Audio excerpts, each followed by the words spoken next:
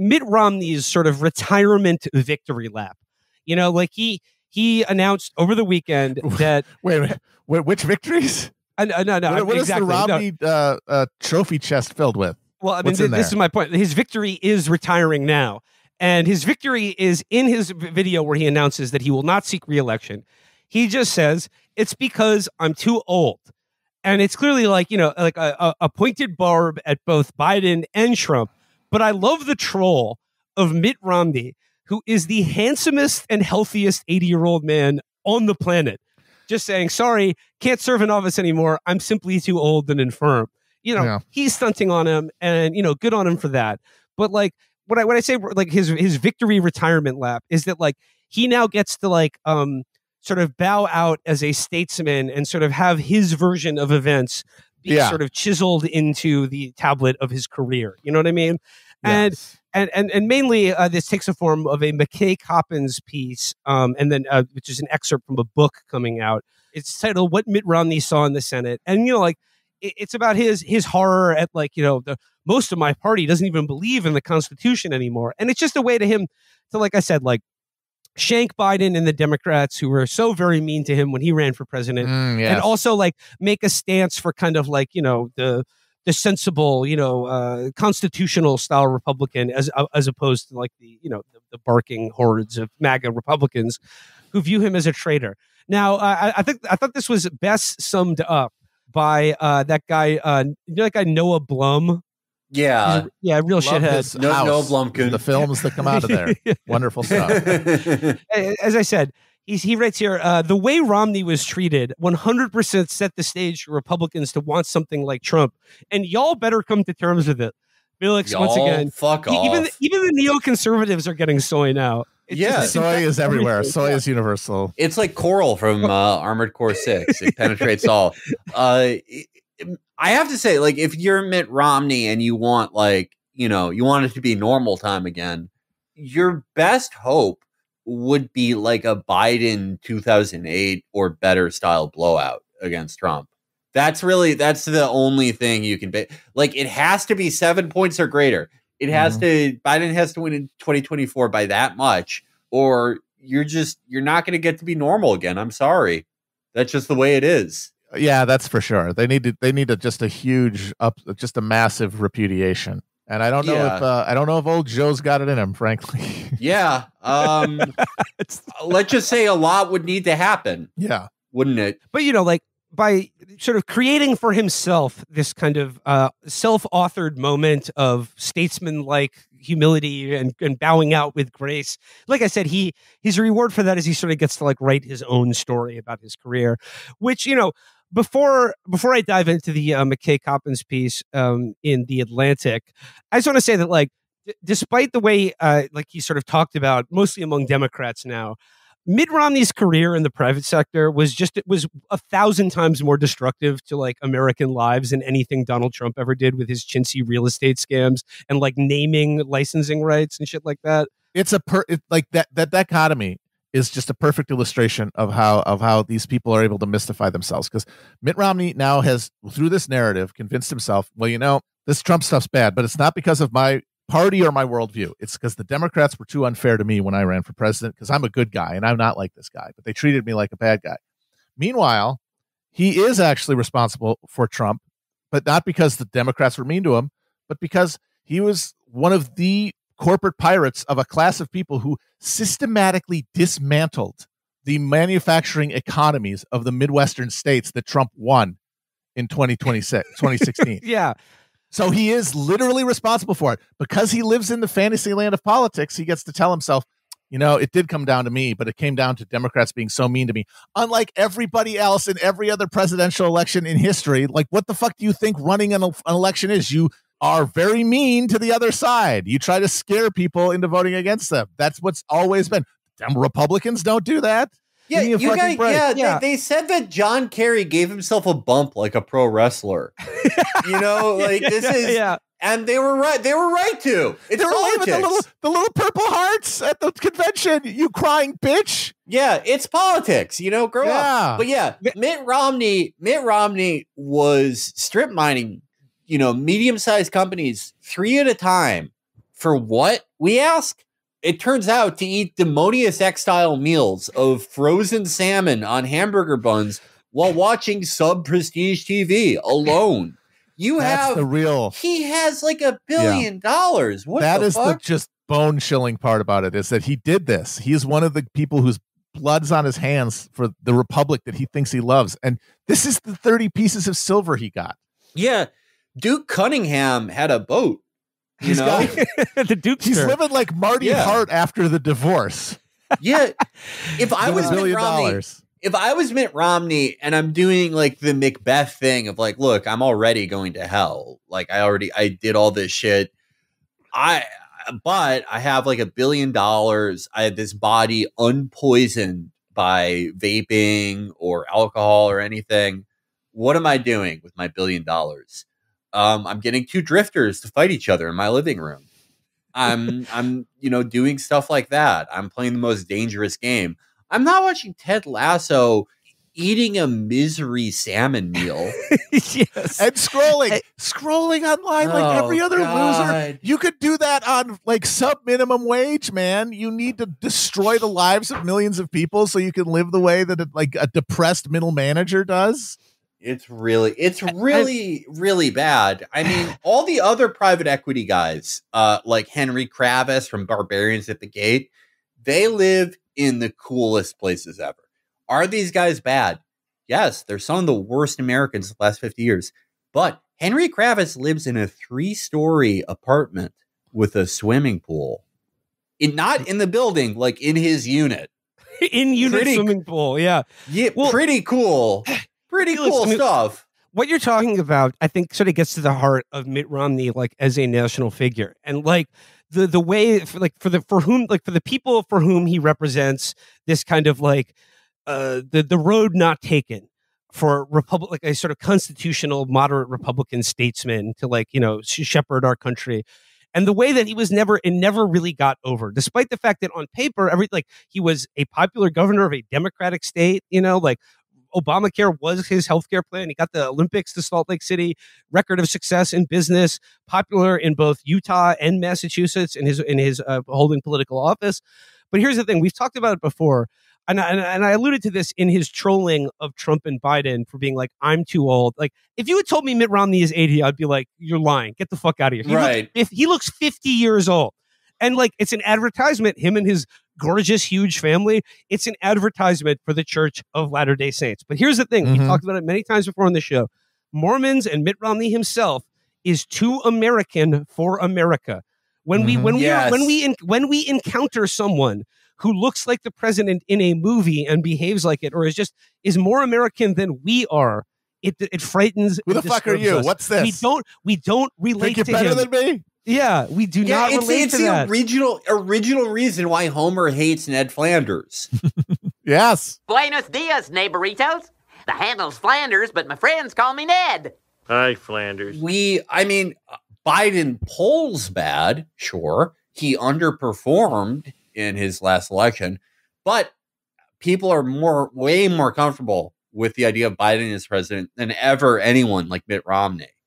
You And, know, you know, what- yeah, you can't imagine what's going on in his mind. the only actual like actual bigotry that prevented Mitt Romney from getting the getting becoming the Republican president of the United States is from evangelical Christians who regard Mormons as a you know wildly heretical blasphemers.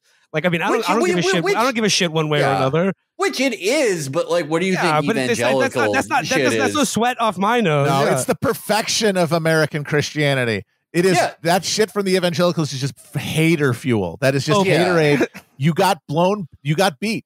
Joseph Smith, he had a little bit of a step on you, and he perfected American Un- Christianity. where you undrafted, dumbasses undrafted. hooting on jugs and giving yourself strychnine poisoning. Joseph Smith went. Well, he went to. He was, he was from a, a Big East conference school. No football there at all. Undrafted. Comes into the league of major American religions. Blows everyone out of the water. Evangelicals are fucking, they're broke. They want to Mhm. be ballers. Divorced multiple times. Yeah, they suck. What have we? We've said it a million times. Mormons are everything they pretend to be. Indeed. The, evangelicals have to do this like um, subterfuge where they draw Jesus in increasingly like whiter shades to make him look more and more American.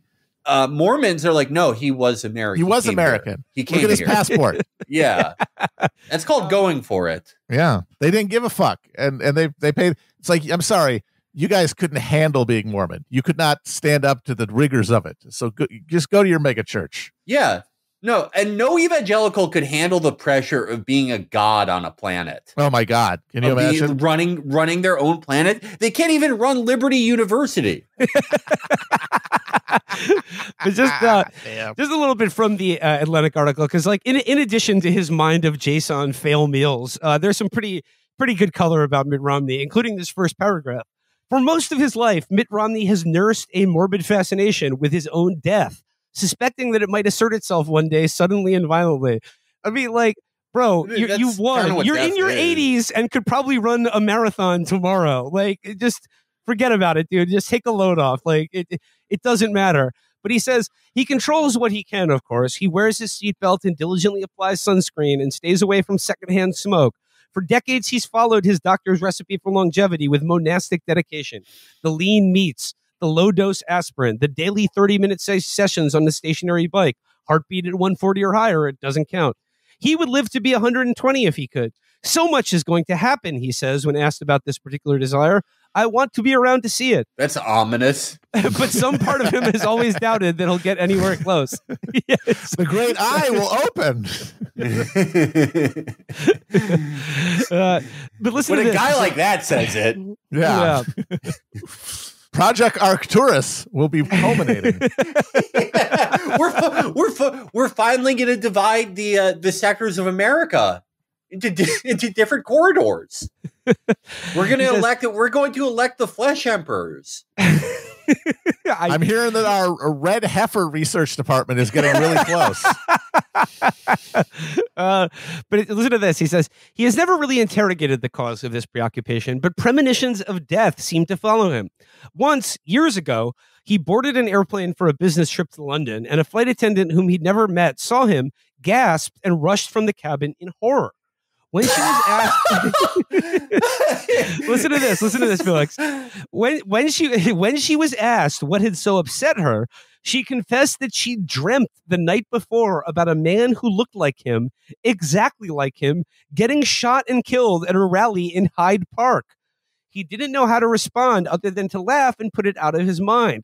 But when a few days later he happened to find himself on the park's edge and saw a crowd forming, he made a point not to linger. Can you imagine how happy would he would have been if he had been in the Capitol on January 6th Oh and my got like pulled apart like the captain in uh, Day of the Dead? Choke on him! It would have been like uh, in the last season of The Shield when Shane Vendrell is like suicidal. Yeah. and he's he's like trying Yes. to die as a hero all those times, all those great scenes. And then he just he gets to be he gets to be just shredded by by his fellow Republicans. Yeah, I I do okay. The ultimate martyr. I have something. I do have a similar thing to this, honestly, Mm. like a little bit.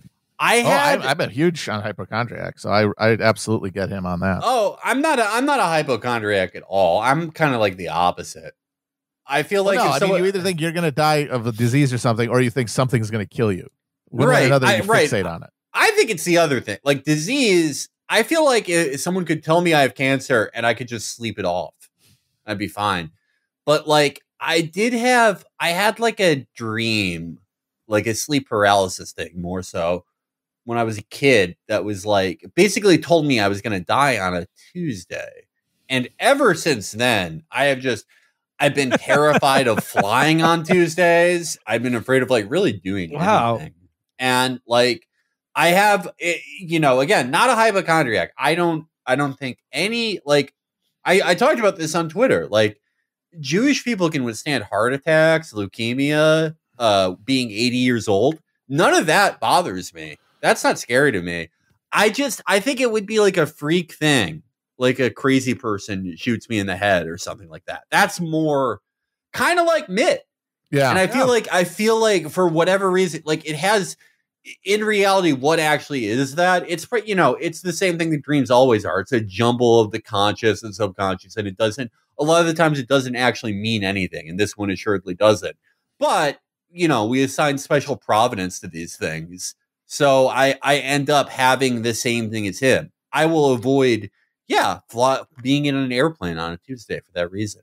I mean that that is I mean yeah if, if I had if I had a dream that I remembered that vividly of, of some being telling me that I was still going to die on a Tuesday, yeah I would not be uh, yeah I'd be not I'm not going out uh, for Taco Tuesday. I'd be staying indoors on Tuesdays. This But, is um, probably tempting fate, but sometimes I do think like, well, it hasn't happened yet. That's what they all say. so far so happens. good so far so good now um romney's premonition of death is used to set up an incident in which um the Maine independent senator angus king angus king of his famous steakhouse or rather not of his famous delicious steakhouse which he should be running instead of whatever dumb bullshit he's up to um basically just about how angus king relayed to him a message from uh, a general, I believe, one of the handsome generals, about all the chatter pre January 6th that they were hearing on social media about people arming themselves to come to DC to kill Mitch McConnell. And then Romney gets Mitch on the phone and is like, Mitch, have you heard about this? Like, I'm very concerned. Then Mitch is just like, new phone, who this? And like, basically, he tells Mitch McConnell and he's like, yeah, let me get back to you on that. And then just doesn't do anything. And then there's another part where like Mitch is talking shit about Donald Trump. And then, of course, he claims never to have said it, anything of the sort.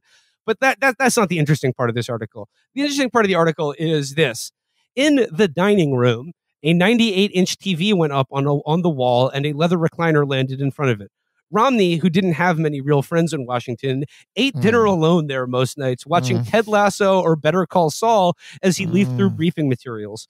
On the day of my first visit, he showed me his freezer, which was full of salmon fillets that had been given to him by Lisa Murkowski, the senator from Alaska. He didn't especially like salmon, but found that if he put it on a hamburger bun and smothered it in ketchup, it made for a serviceable Ugh. meal. Sa- salmon with ketchup on a hamburger bun. I well, mean, you know, you can't let it Mis- go to waste.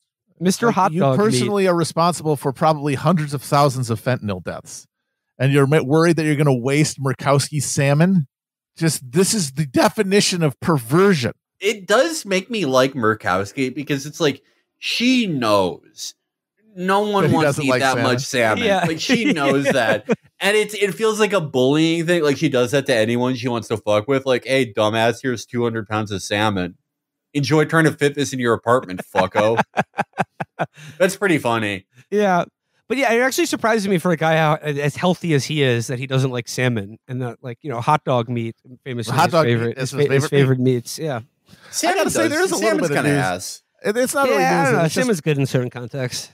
I think Sometimes. salmon is delicious. I don't know what you're talking about. Yeah. When you get it nice and the, the, the pieces just kind of fall apart, you, you make It sure that sounds there's like- enough le- olive oil, some garlic, and lemon juice in there. Sounds like you should go to the You Senate. put maybe a, uh, a yogurt based sauce. So like a like a teriyaki salmon, I think, or mi- miso glazed salmon. Oh, it's delicious. And uh, oh, if we're talking cedar planked and herb crusted, then get the fuck out of here.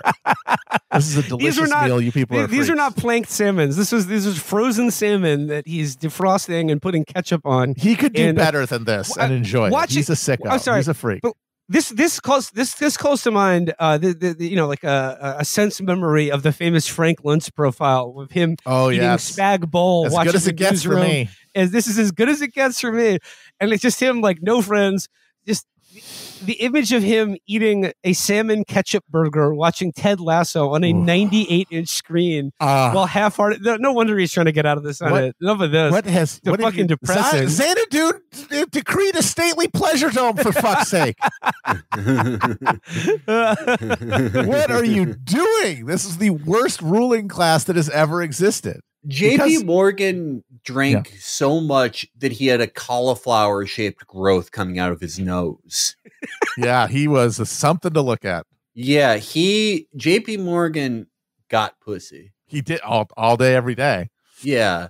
He had parties where he would eat like 85 oysters. Mhm. There hasn't been this austere a member of the ruling class since John D. Rockefeller himself, the original sicko. It's true, and that's why he's got to be there signing laws, and why he tried to be the guy killing people with like drone strikes and, and invasions because he needs that because that's how much of a pervert he is.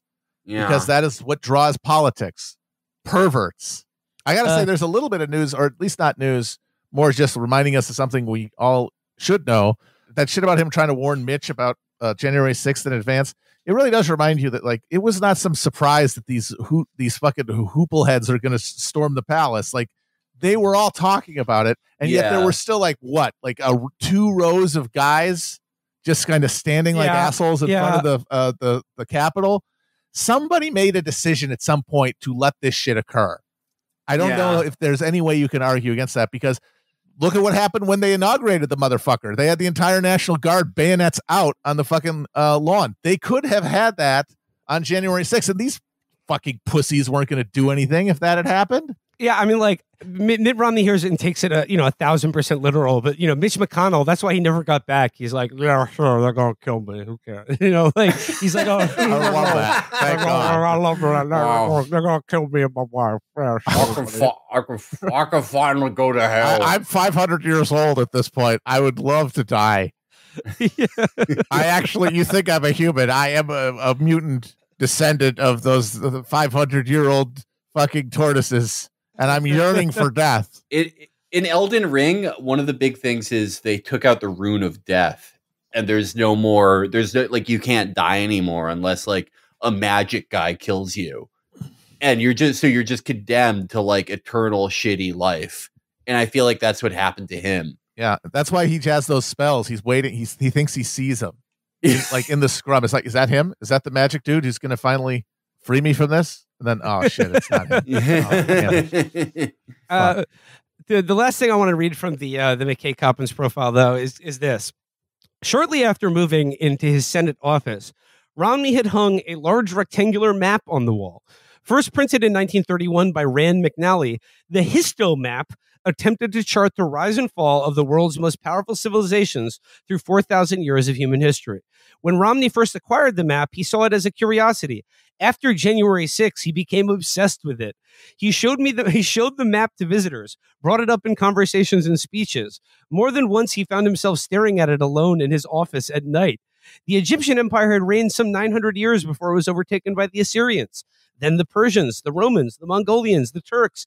Each civilization had its turn and eventually collapsed in on itself. Maybe the falls were inevitable, but what struck Romney the most about the map was how thoroughly it was dominated by tyrants of some kind pharaohs, emperors, kaisers, kings. A man gets some people around him and begins to oppress and dominate others. He said the first time he showed me the map, it's a testosterone related phenomenon, perhaps. I don't know. But in the history of the world, that's what happens. America's experiment in self rule is fighting against human nature. This is a very fragile thing, he told me. Authoritarianism is like the gargoyle lurking over the cathedral, ready to pounce. For the first Shut time in his life, for the first time in his life, he wasn't sure if the cathedral would hold. I just love the idea of him being uh, up until January 6th, he was just like, uh, check out this Histomap. It's a cool thing in my office. And then after it, he's like staring at it, like, you know, with a, over a, a snifter of chocolate milk or something, just going, all civilizations must crumble. All great men must fall. Here, behold, Ozymandias. Yeah. Yeah, he's he's he's reading some W. Cleon Skousen, everyone's favorite Mormon uh, apocalyptic nutso, who loved to talk in those giant historical terms. The Uh, you West know has fall. The West has fallen. Millions, billions must cry to Ted Lasso. but yeah, I mean, I guess the thing is like, first of all, like January 6th, that's your first indication that like the the the, the gargoyle of authoritarianism stalks the battlements of American democracy. Okay, sure. And then like and and, and that's its first, you know, uh, you know, barrage across the across the bow is January 6th. But, you know, again, it's just like this is a guy who's been like a down the line Republican his entire fucking career. And now he's just like, our civilization is about to crumble. You know what'll stop it? Me resigning and setting an example for everyone. And you know what though, like I, I think it's weird, like the Mormon thing, because you're thinking in terms of eternity. You look at like ancient Egypt, ancient Rome, you know, the Persian Empire. It's like, oh, they all were around for like a like you know nine centuries and then fell. That's a good run. Who cares? Like we're fucking ahead of the curve as far as that goes. And it's just sort of like I, I don't getting also like existentially despairing about like the rise and fall of civilizations. It's just like it's Well, it's what we because of the way we.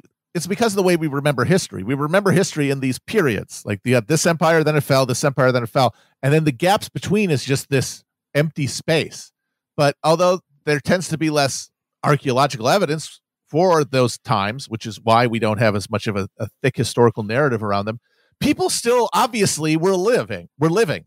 People were obviously surviving. People were loving and and and all the stuff we're doing. They were doing Yeah. all that stuff. They just weren't making as strong a record of it because there wasn't the density of uh, of civilizational structures. But they weren't all gone. There were still this this social uh, fabric that persisted, and we can't because that's since since it looks like a black hole from the from the our position. We just assume that that's all there is is these this fall into a chasm when in reality it's people adjusting to changing conditions and evolving new social structures to deal with those conditions. It's the same thing that history always is. It's not the end of anything. It's the tra- continued transformation of one in more internal thing.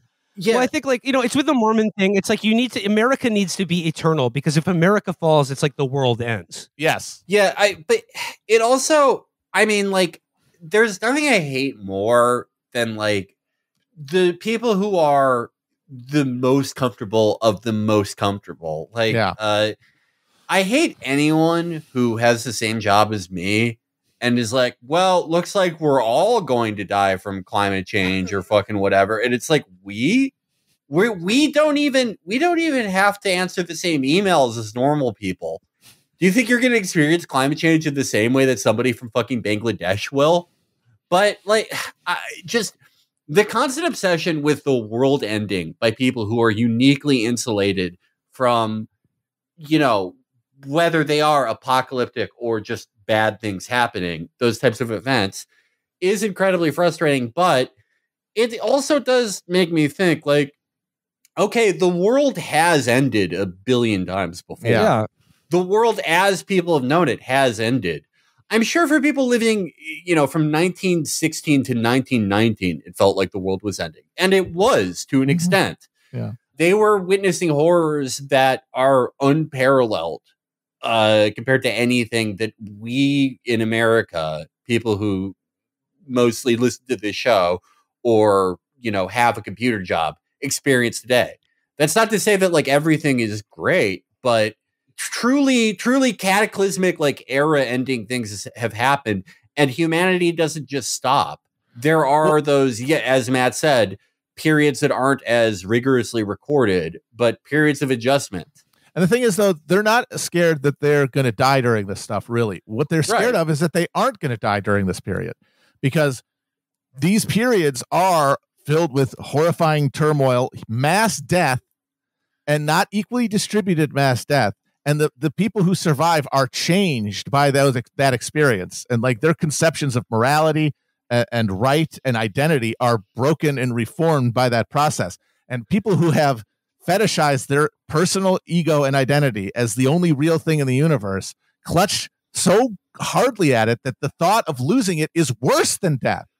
And so they would rather fantasize that they're going to personally die so they don't have to worry about going through that transformation than realize, oh, like for me and my children, things are going to be different. I'm going to have to value different things. And that is so terrifying when we're addicted to the, the, the meager pleasures that we've afforded ourselves now that yeah, we'd much rather fantasize about a cataclysmic ending than reckon with the moral responsibility of continuing. I think even more terrifying to people, more terrifying to people who are on the more comfortable side, is the idea that if you if you don't die, and yes, it's unevenly distributed, and others are dying in your place, then you have to grapple with what that means. You you have to grapple with what your life means. What does it mean that maybe in in as much as anyone deserves this when climate catastrophes happen at an increased rate compared to what they do now, you may deserve it more, but it's not going to happen to you.